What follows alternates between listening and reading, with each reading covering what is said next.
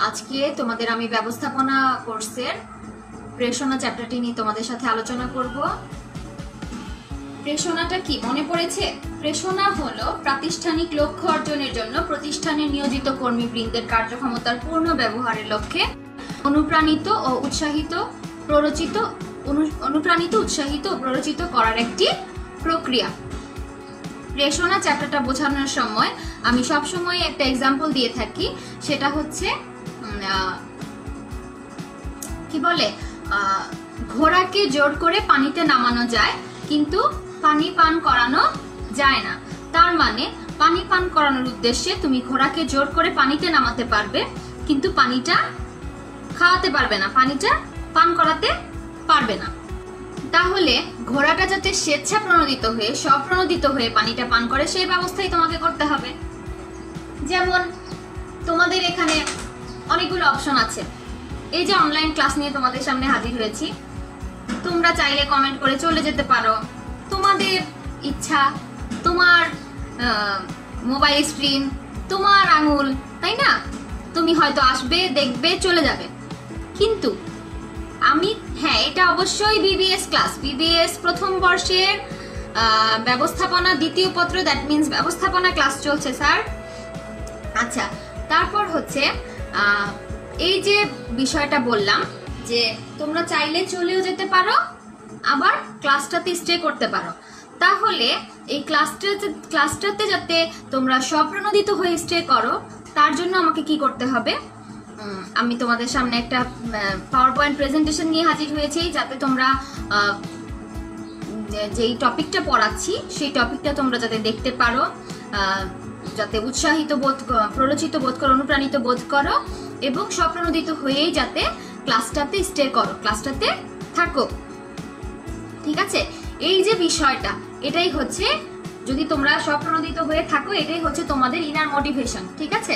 তাহলে according to M J Gannon মোটিভেশনের একটা সংজ্ঞা আছে। Motivation basically means an individual's needs desires and concepts that cause him or her to act in a particular manner তার মানে হচ্ছে motivation বুঝাবে, একটা ইন্ডিভিজুয়ালের কিছু নিডস থাকবে ডেজার্ট থাকবে, তার কিছু কনসেপ্ট থাকবে যেটা তাকে কোনো একটা কাজ নির্দিষ্ট ওয়েতে করতে তাকে অনুপ্রাণিত, তাকে পরিচালিত করবে। এটা হচ্ছে প্রেষণা। এখন দেখো প্রেষণার বৈশিষ্ট্য। প্রথম কথাটাই হচ্ছে, মানুষ হলো মূল কেন্দ্রবিন্দু। কথাটা বোঝা গেল? মানুষ হলো মূল কেন্দ্রবিন্দু centre point main centre point মূল সেন্টার পয়েন্ট হচ্ছে মানুষ। তুমি কাকে প্রেষিত করবে? তোমার কর্মস্থলে তোমার কর্মীদেরকে তুমি প্রেষিত করবে। তাহলে প্রেষণার প্রধান বৈশিষ্ট্য হচ্ছে মানুষ হলো মূল কেন্দ্রবিন্দু। তারপর হচ্ছে মনের উপর প্রভাব। তুমি প্রেষিত করবে তাকে কীভাবে? তার মনের উপর প্রভাব বিস্তার করে। ঠিক আছে?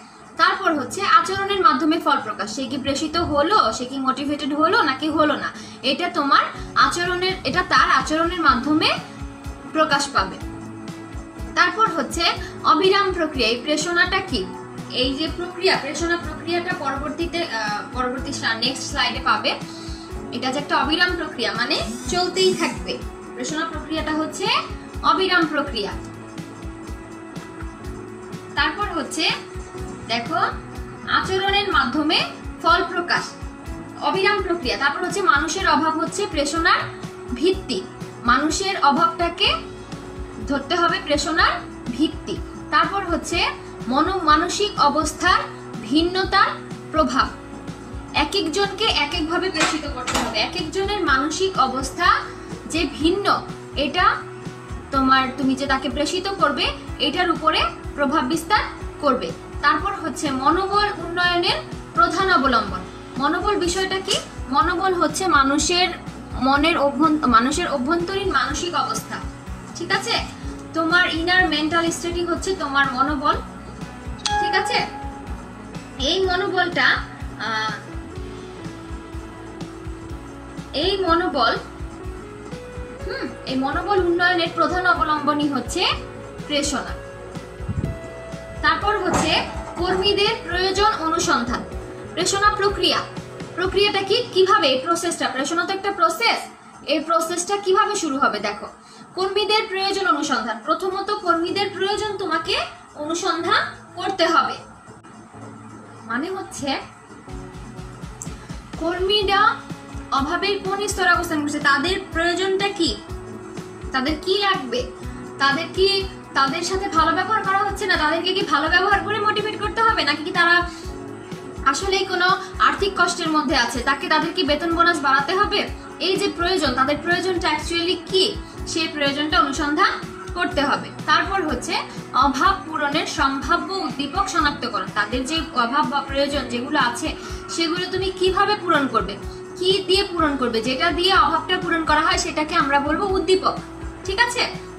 আর্থিক উদ্দীপক হতে পারে, মানসিক উদ্দীপক হতে পারে হ্যাঁ? আর্থিক উদ্দীপক, অনাসিক, অন- অনার্থিক উদ্দীপক, ঠিক আছে? যেগুলো অর্থের সাথে যেগুলো সংশ্লিষ্ট, সেগুলো আর্থিক উদ্দীপক, যেগুলো অর্থের সাথে সংশ্লিষ্ট নয়, সেগুলো হচ্ছে অনার্থিক উদ্দীপক।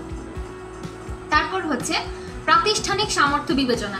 তুমি যে উদ্দীপকগুলো শনাক্ত করলে যে হ্যাঁ এই উদ্দীপকগুলো দিয়ে আমি আমার কর্মীদের অভাবগুলো পূরণ করব, তাহলে এই যে প্রাতিষ্ঠানিক সামর্থ্য তোমার আছে কিনা তোমার টেকনিক্যাল বিভিন্ন বিষয়গুলো তোমার প্রতিষ্ঠানে অ্যাভেলেবেল আছে কিনা তারপর তোমার প্রয়োজনীয় জনবল আছে কিনা প্রয়োজন জনবল তো আছেই প্রয়োজনীয় জন কি বলে এটাকে মূলধন আছে কিনা আহ, তোমার আর্থিক কোনো সমস্যা নেই কিনা সেই বিষয়গুলো সেই প্রাতিষ্ঠানিক তোমার সামর্থ্য আছে কিনা সেগুলো তোমাকে বিবেচনা করতে হবে।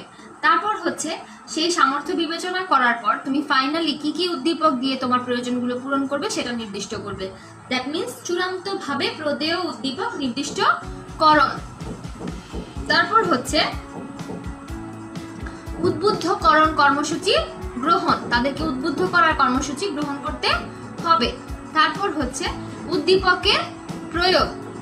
উদ্দীপকগুলো প্রয়োগ করলে, তারপর কর্মী সন্তুষ্টি বিধান করলে তারপর দেখা গেল আবার উন্নয়নের সাথে নতুন অভাববোধ সৃষ্টি। অবস্থার উন্নয়নের সাথে সাথে অভাব তো আসলে চলতেই থাকে, তাই না? একটা মানুষের একটা অভাব পূরণ হলে আরেকটা অভাব দেখা দেয়, একটা চাহিদা পূরণ হলে আরেকটা চাহিদা দেখা দেয়।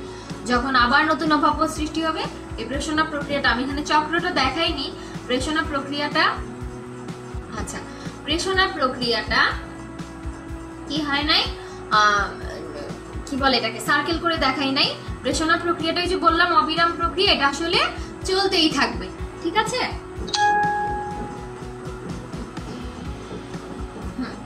তারপর দেখো প্রেষণা ও মনোবলের মধ্যে সম্পর্ক। মনোবল কি? মনোবল আগেই বলেছি, মনোবল হলো মানুষের অভ্যন্তরীণ মানসিক অবস্থা। তাহলে প্রেষণার সাথে মনোবলের একটা সম্পর্ক আছে। যখন তুমি কাউকে উচ্চভাবে প্রেষিত করবে মানে হাইলি মোটিভেট করবে প্রেষণাটা যদি উচ্চমানের হয়, তাহলে উচ্চ কার্য সন্তুষ্টি এটাকে অ্যারো দিয়ে দেখাবে। উচ্চ প্রেষণা লিডস টু উচ্চ কার্যসন্তুষ্টি লিডস টু উচ্চ মনোবল। অ্যারো দিয়ে দেখাতে হবে। অ্যারোটা আমি দেখাতে পারি নাই অ্যারো দিয়ে দেখাবে, ঠিক আছে? উচ্চ প্রেষণা থেকে যাবে উচ্চ কার্যসন্তুষ্টিতে, উচ্চ কার্য সন্তুষ্টি থেকে উচ্চ মনোবল। কার্যসন্তুষ্টি কি? কার্য মানে কাজ। কর্মী যেই কাজটা করছে, সেই কাজের প্রতি তার সন্তুষ্টি যদি থাকে, সেটাকে আমরা বলব কার্য সন্তুষ্টি বা জব স্যাটিসফ্যাকশন তাকে যদি ভালোভাবে প্রেষিত করা যায়, তাহলে তার কাজের প্রতি সন্তুষ্টি আসবে এবং কাজের প্রতি সন্তুষ্টি হলে তাহলে তার অবশ্য স্বভাবতই তার মানসিক অবস্থা বা মনোবল উচ্চমানের হবে। আর যদি প্রেষণাটা নিম্নমানের হয়, তাহলে কার্যসন্তুষ্টিটাও নিম্নমানের হবে এবং মনোবলটাও কি হবে? নিম্নমানের হবে। এই হচ্ছে প্রেষণা এবং মনোবলের মধ্যে সম্পর্ক। আরেকটা বিষয় এখানে দেখানো হয় নাই, এটা অনেক সময় আসে। প্রেষণা, মনোবল, উৎপাদনশীলতার মধ্যে সম্পর্ক হ্যাঁ? তাহলে মনোবলের সাথে আরেকটা বিষয় বেড়ে যাবে, উৎপাদনশীলতা। তার মানে যদি হাইলি কাউকে মোটিভেট করা হয়, তাহলে তার কার্যসন্তুষ্টি বাড়বে এবং কার্যসন্তুষ্টি বাড়লে তার মনো এবং যখন একটা মানুষের মনোবল বাড়বে, তখন অবশ্যই প্রতিষ্ঠানের উৎপাদনশীলতা, তার নিজের উৎপাদনশীলতা সে আরও ভালো করে প্রোডাক্ট একটা যেটা তৈরি করছে, সেটা ভালো করে তৈরি করতে পারবে। উৎপাদনশীলতা কি? উৎপাদন উপকরণের অনুপাত। ঠিক আছে? উৎপাদন উপকরণের অনুপাত। ঠিক আছে? উৎপাদনশীলতা উচ্চ হবে। আর নিম্ন প্রেষণা নিম্ন কার্যসন্তুষ্টি, নিম্ন মনোবল, তার মানে উৎপাদনশীলতাও নিম্নমানের হবে। এখন দেখো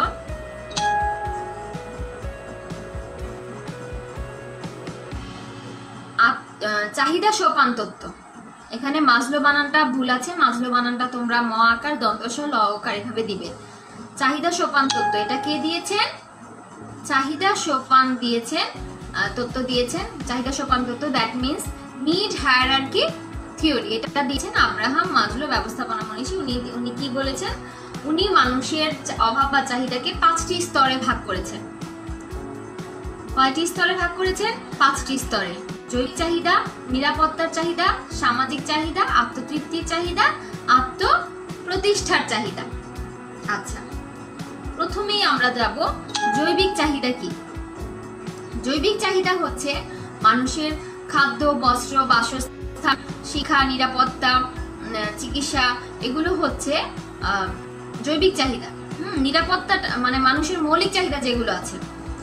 নিরাপত্তাটাকেও কিন্তু এখন মৌলিক চাহিদা, আমরা পড়েছি ছোটবেলায় পাঁচটি।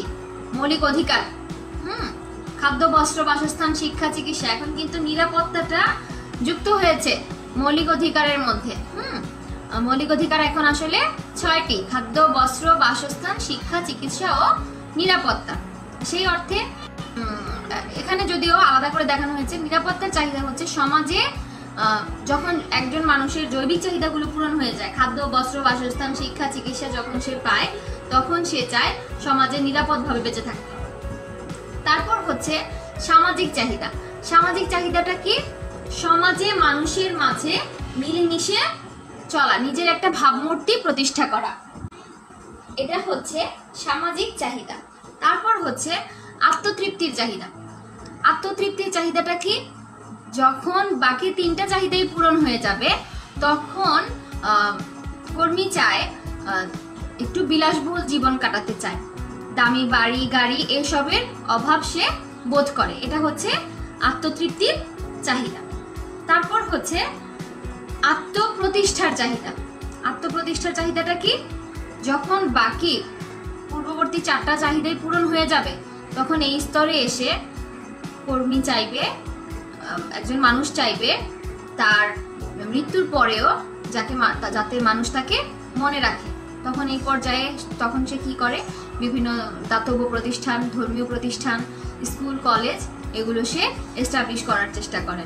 যাতে তার সে মারা গেলেও, তার মৃত্যু হলেও তার নামটা যাতে থেকে যায়, তাকে যাতে মানুষ ভালোভাবে মনে রাখে। এই হচ্ছে আত্মপ্রতিষ্ঠার চাহিদা। তাহলে আব্রাহাম মাজলো বলেছেন এই যে লোক মানে কর্মীরা হ্যাঁ? যেহেতু তিনি বলেছেন সোপান সোপান মানে হচ্ছে সিঁড়ি। যেহেতু তিনি বলেছেন যে, এই যে যেই সোপানে একজন কর্মী অবস্থান করুক না কেন, কেউ হয়তো তার একজন কর্মী তার জৈবিক চাহিদাগুলোই পূরণ হচ্ছে না হ্যাঁ? মানে তাকে তো নিরাপত্তা চাহিদা, সামাজিক চাহিদার ই দেখিয়ে লাভ নেই। যা, যে চাহিদা সোপান তত্ত্বের, চাহিদা সোপানের সিঁড়ির যে স্তরে অবস্থান করছে, তাকে সেই স্তর বুঝে তাকে প্রেষিত করার চেষ্টা করতে হবে। মানে তাকে ওই স্তরের উদ্দীপকগুলো দিয়ে প্রেষিত করার চেষ্টা করতে হবে। কারও বাচ্চার স্কুলিং হচ্ছে না, এডুকেশন হচ্ছে না কোনো কর্মীর। তা, তার- বাচ্চার জন্য এডুকেশনাল ফ্যাসিলিটিস তাকে দেওয়ার ব্যবস্থা করা যেতে পারে। ঠিক আছে? যাতে সে প্রতিষ্ঠান থেকে তার বাচ্চার জন্য এডুকেশনাল ফ্যাসিলিটিসগুলো পায়। শিক্ষাবৃত্তি দেওয়ার ব্যবস্থা করা যেতে পারে। বোঝা গেল? তাহলে এই যে বিষয়টা, যার পূর্ববর্তী তিনটাই পূরণ হয়ে গেছে, যে কোনো কর্মী, এখন সে চাচ্ছে আত্মতৃপ্তির চাহিদা স্তরে অবস্থান করছে, সেগুলো চাচ্ছে, এবং সে খুব দক্ষ একজন কর্মী। তখন প্রতিষ্ঠান থেকে তাকে একটা প্রতিষ্ঠান ভেদে আর কি তাকে একটা গাড়ি অফার করতে পারে, ঠিক আছে? তাকে একটু বেটার হাউজিং অফার করতে পারে। এগুলো হচ্ছে আত্মতৃপ্তির চাহিদা। তাহলে এটার মূল কথাই হচ্ছে চাহিদা সোপান তত্ত্বে যে কর্মী যেই স্তরে অবস্থান করবে, তাকে সেই স্তর বুঝে তাকে প্রেষিত করার চেষ্টা করতে হবে। এবং এইটা নিয়েও, এই তত্ত্বটা নিয়েও অনেক সমালোচনা আছে। সেই সমালোচনার দিকে আজকে যাব না। মোটামুটিভাবে তত্ত্বগুলোই আলোচনা করছি। ঠিক আছে? তাহলে চাহিদা সোপান তত্ত্বের মূল কথা আমরা বুঝলাম কি? যে কর্মী এই চাহিদা সোপানের যে সোপানে অবস্থান করবে, তাকে সেই স্তর ভেদে তাকে প্রেষিত করার চেষ্টা করতে হবে। তারপর দেখো এখানে একটু ইগনোর করে যেও, দ্বি উপাদান দয় ব রসইকার হবে। দ্বি উপাদান দ্বীপ বানানটা ভুল আসছে। দ্বি উপাদান তত্ত্ব, ফ্রেডারিক হার্জবার হুম, নাম থেকে বোঝা যাচ্ছে দুইটা উপাদান। হ্যাঁ এটা হচ্ছে দ্বি উপাদান তত্ত্ব। একটা হচ্ছে রক্ষণাবেক্ষণমূলক উপাদান, একটা হচ্ছে প্রেষণামূলক উপাদান। রক্ষণাবেক্ষণমূলক উপাদান দ্যাট মিনস হাইজিন ফ্যাক্টরস প্রেষণামূলক উপাদান মোটিভেশনাল ফ্যাক্টরস হ্যাঁ এখানে আমি বিস্তারিত বর্ণনা দেইনি, শুধু পয়েন্টগুলো লিখেছি। আলোচনা করছি, এটা শোনো হ্যাঁ শোনার চেষ্টা করো, বোঝার চেষ্টা করো। রক্ষণাবেক্ষণমূলক উপাদান আর প্রেষণামূলক উপাদান বোঝানোর সময় আমি ক্লাসে অনেক সময় একটা এক্সাম্পল দিয়ে থাকি। সেটা হচ্ছে, ধরো, তোমরা তো একটা সরকারি কলেজে পড়াশোনা করছ, তাই না? এখন রক্ষণাবেক্ষণমূলক উপাদানগুলো, মূলক উপাদান মানেই হচ্ছে যেটা তোমার একদম নিড তোমার বেসিক বিষয়গুলো, যেটা তোমার থাকতেই হবে হ্যাঁ? একটা চাকরির ক্ষেত্রে রক্ষণাবেক্ষণমূলক উপাদান, বেতন, বোনাস, চাকরির নিরাপত্তা এগুলো বোঝায়। কিন্তু এখানে একটা ব্যাপার হচ্ছে, আমাদের দেশের প্রেক্ষাপটে, আমাদের দেশের আর্থসামাজিক অবস্থার প্রেক্ষাপটে একটা উন্নত দেশে যেগুলো রক্ষণাবেক্ষণমূলক উপাদান দাঁড়ায়, যেমন বেতন, বোনাস, চাকরির নিরাপত্তা আমাদের দেশে এগুলো হয়ে যায়। প্রেষণামূলক উপাদান, ভালো বেতন, ভালো বোনাস, চাকরির নিরাপত্তা ভালো, যখন তখন চাকরি চলে যাবে না। এগুলো আমাদের দেশে আসলে কি? মোটিভেশনাল ফ্যাক্টরস প্রেষণামূলক উপাদান। তাহলে আমি শুরুতেই বলে নিচ্ছি, দেশ, স্থান, কাল পাত্র ভেদে এই রক্ষণাবেক্ষণমূলক উপাদান এবং এই প্রেষণামূলক উপাদানগুলো ভ্যারি করে। কথাটা বোঝা গেল? ভিন্ন ভিন্ন হয়। দেশকাল ভেদে, স্থান, ভেদে এগুলো ভিন্ন ভিন্ন হয়। উন্নত বিশ্বে যদি যেটা রক্ষণাবেক্ষণমূলক উপাদান, সেটা অনুন্নত বিশ্বে অনেক সময় সেটা হয়ে যায় প্রেষণামূলক উপাদান।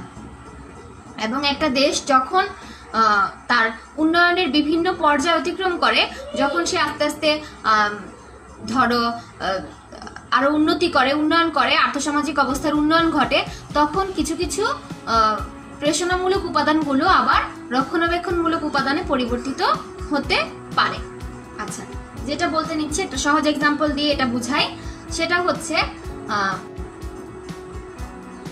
তোমরা একটা সরকারি কলেজে পড়াশোনা করছ।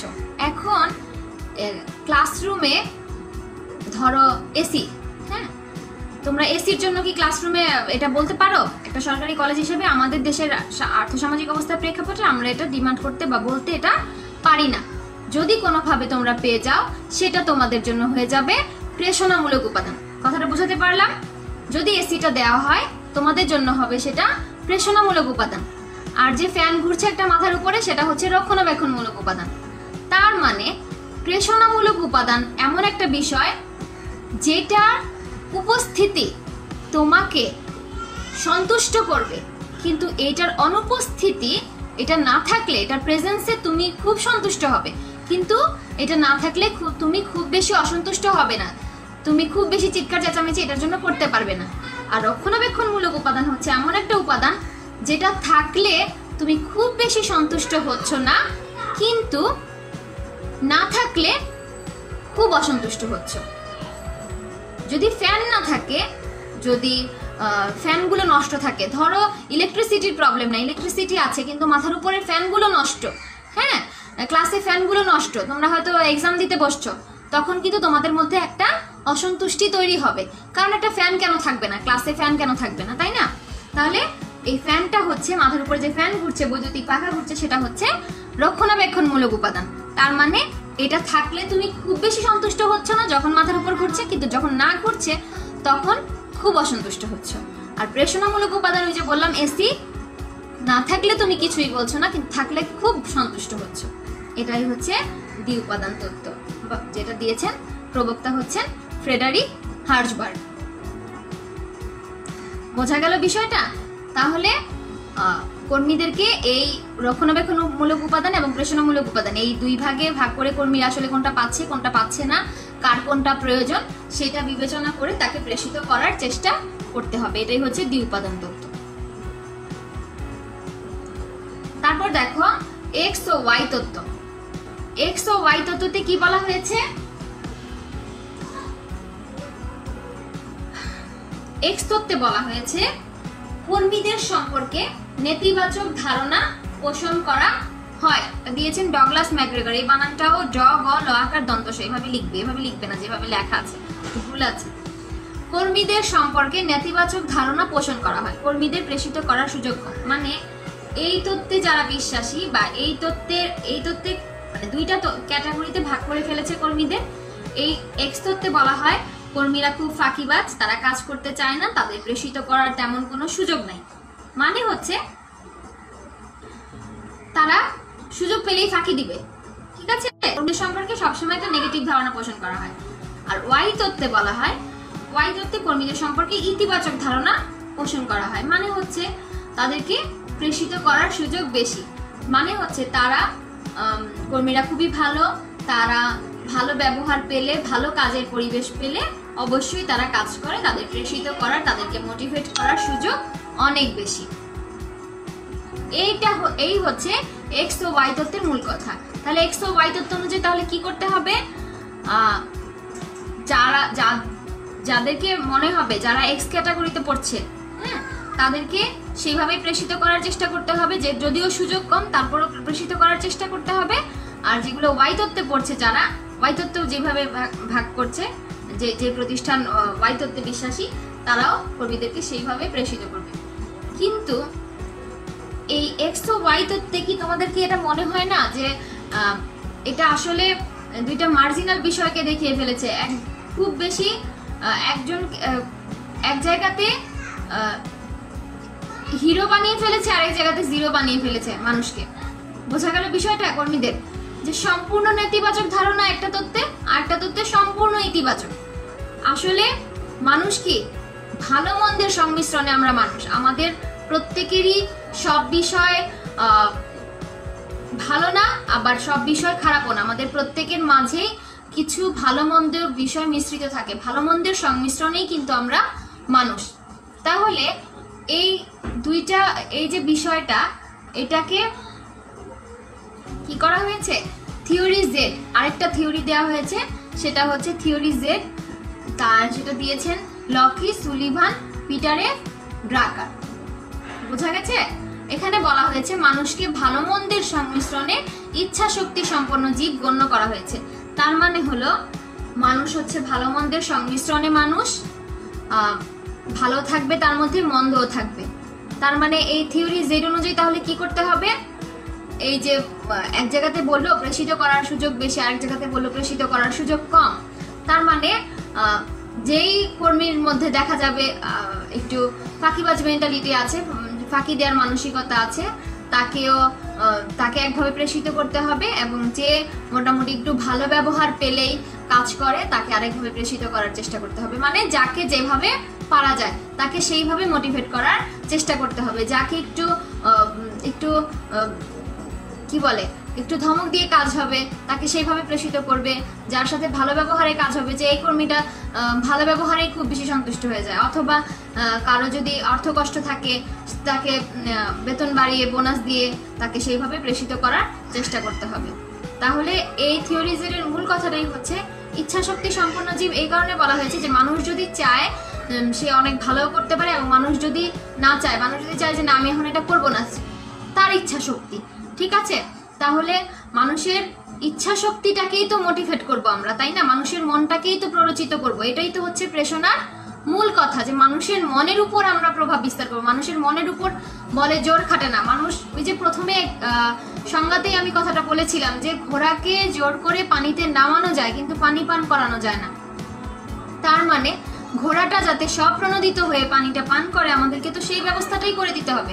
তাহলে থিওরি জেড হলো, আমরা সেটাই করব। ঠিক আছে? সরি থিওরি এক্স এবং থিওরি ওয়াই যেটা একদিকে খুব ভালো, একদিকে খুব খারাপ, এই দুইটা অবস্থান দেখানো হয়েছিল। কিন্তু থিওরি জেডে এসে মানুষকে ভালো মন্দের সংমিশ্রণে ইচ্ছা শক্তি সম্পন্ন জীব গণ্য করা হয়েছে। এখন দেখো, প্রেষণা দানের উপায়। আমরা মানুষকে, আমরা কর্মীদেরকে কীভাবে প্রেষিত করতে পারি? অল্প কয়েকটা দিয়ে যেখানে আর্থিক উপায়, অনার্থিক উপায় হ্যাঁ? আর্থিক উপায়গুলো হচ্ছে বেতন, বোনাস, মুনাফার অংশ, এগুলো আমরা দিতে পারি, এগুলো অর্থের সাথে সংশ্লিষ্ট। অনার্থিক উপায় হচ্ছে উত্তম কর্মপরিবেশ উত্তম ব্যবহার, প্রশিক্ষণ, সুবিধা। এগুলো অর্থের সাথে সংশ্লিষ্ট নয়। হুম। এই বিষয়গুলো দিয়ে আমরা কর্মীদেরকে প্রেষিত করতে পারি। তাহলে দেখো প্রেষণাতে আমার, আমরা একটু প্রথম থেকে প্রথম স্লাইডে চলে যাচ্ছি। সেটা হচ্ছে প্রেষণা হ্যাঁ? প্রেষণার সংজ্ঞাটা আমরা কি বলেছিলাম? প্রেষণা হলো প্রাতিষ্ঠানিক লক্ষ্য অর্জনের জন্য প্রতিষ্ঠানে নিয়োজিত কর্মী যারা আছেন, তাদের কার্যক্ষমতার পূর্ণ ব্যবহার করার জন্য তাদেরকে অনুপ্রাণিত করব, উৎসাহিত করবে এবং প্ররোচিত করবে। অনুপ্রাণিত, উৎসাহিত, প্ররোচিত করার প্রক্রিয়াটাকে আমরা বলব প্রেষণা তারপর আমরা করেছি হচ্ছে প্রেষণার বৈশিষ্ট্য, ঠিক আছে? প্রেষণার বৈশিষ্ট্যের মধ্যে মূল কথাটাই হচ্ছে মানুষ হচ্ছে এটার মূল কেন্দ্রবিন্দু, আমরা মানুষের মনের উপর প্রভাব বিস্তার করব এবং কতটুকু প্রভাব বিস্তার করতে পারলাম সেটা তার আচরণের মাধ্যমে প্রকাশিত হবে। সেটা কীভাবে প্রকাশিত হবে? তার আচরণের মাধ্যমে। তারপর হচ্ছে অবিরাম প্রক্রিয়া। মানুষের প্রয়োজন তো সহজে ফুরবে না, তাই না? একটা প্রয়োজন, একটা চাহিদা শেষ হলে আরেকটা চাহিদা দেখা দিবে। তাহলে প্রেষণার যে প্রসেসটা আছে, প্রক্রিয়াটা আছে, সেটাও আসলে অবিরাম ভাবে চলতে থাকবে। কর্মীর একটা প্রয়োজন সম্পর্কে তুমি জেনেছো। এখন প্রেষণার প্রক্রিয়ার অংশ হিসেবে তুমি সেই প্রয়োজনটা কর্মীর পূরণ করেছ। ঠিক আছে? এখন নতুন করে আবার আরেকটা প্রয়োজন দেখা দিয়েছে। তাহলে সেটা কি পূরণ করতে হবে না? সেটাও যদি পূরণ না করা হয়, তাহলে তো তা তোমার প্রতিষ্ঠানে টোটাল প্রোডাক্টিভিটির উপরে বা উৎপাদনশীলতার উপরে সেটা প্রভাব বিস্তার করবে। তাহলে এই প্রেষণা প্রক্রিয়াটা হচ্ছে একটা অবিরাম প্রক্রিয়া। এই যে প্রেষণা প্রক্রিয়াটা দেখো, প্রেষণা প্রক্রিয়াটা কি কি ছিল? কর্মীদের প্রয়োজন অনুসন্ধান করতে হবে, উদ্দীপক শনাক্ত করতে হবে, প্রাতিষ্ঠানিক সামর্থ্য বিবেচনা করতে হবে, উদ্দীপক নির্দিষ্ট করতে হবে উদ্বুদ্ধকরণ কর্মসূচি গ্রহণ করতে হবে, উদ্দীপকের প্রয়োগ করতে হবে, কর্মী সন্তুষ্টি বিধান করতে হবে, উন্নয়নের সাথে সাথে নতুন নতুন অভাব সৃষ্টি হবে। এটা গিয়ে আবার অ্যারোটা চলে যাবে কর্মীদের প্রয়োজন অনুসন্ধান। এখানে আমি অ্যারো দিয়ে দেখাইনি, কিন্তু এটা প্রেষণা প্রক্রিয়াটা অবিরাম। যেহেতু অবিরাম, সেহেতু শেষটা আবার প্রথমটাতে চলে যাবে, আবার নতুন নতুন অভাব সৃষ্টি হবে। তারপর দেখিয়েছি প্রেষণা ও মনোবলের মধ্যে সম্পর্ক। উচ্চ প্রেষণা উচ্চ কার্যসন্তুষ্টি উচ্চ মনোবল আর প্রেষণার মান নিম্ন হলে কার্যসন্তুষ্টিও নিম্ন হবে, মনোবলও নিম্ন হবে। তারপর দেখিয়েছি চাহিদা সোপান তত্ত্ব। ঠিক আছে? চাহিদা সোপান তত্ত্বের মূল কথা কি? কর্মী চাহিদার সোপানের যে স্তরে অবস্থান করছে, সেই স্তর বুঝে তাকে প্রেষিত করার চেষ্টা করতে হবে। তারপর পড়লাম দ্বি উপাদান তত্ত্ব, রক্ষণাবেক্ষণমূলক উপাদান। ছোট প্রশ্ন যদি আসে, দ্বি উপাদান তত্ত্বের প্রবক্তাকে ফ্রেডারিক হার্জবার্গ দ্বি উপাদান তত্ত্বের উপাদান দুটোর নাম লেখো, রক্ষণাবেক্ষণমূলক উপাদান, প্রেষণামূলক উপাদান। এক্স ও ওয়াই তত্ত্বে এক্স তত্ত্বে কর্মীদের সম্পর্কে কি ধারণা পোষণ করা হয়? নেতিবাচক। ওয়াই তত্ত্বে কর্মীদের সম্পর্কে কি ধারণা পোষণ করা হয়? ইতিবাচক। এক্স ও ওয়াই তত্ত্বের প্রবক্তাকে ডগলাস ম্যাকগ্রেগর থিওরি জেড প্রবর্তনে কারা কারা অবদান রেখেছেন? লকি সুলিভান পিটার এফ ড্রাকার নামক প্রমুখ মনীষীগণ। এখানে মানুষকে কি হিসেবে গণ্য করা হয়েছে? ভালো মন্দের সংমিশ্রণে ইচ্ছা শক্তি সম্পন্ন জীব গণ্য করা হয়েছে। তারপর প্রেষণাদানের উপায় নিয়ে আলোচনা করলাম। আর্থিক উপায়, অনার্থিক উপায়। আমরা আর্থিকভাবে কর্মীদের প্রেষিত করতে পারি, যেগুলো অর্থের সাথে সংশ্লিষ্ট, এবং অনার্থিক উপায়ে কর্মীদেরকে প্রেষিত করতে পারি।